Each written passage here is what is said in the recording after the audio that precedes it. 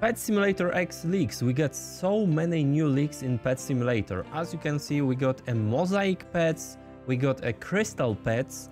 This is the next picture of Mosaic Pets. We got a Capybara icon and we got uh, at least uh, Hardcore Pets and new Big Games games, guys. Can't you find them all?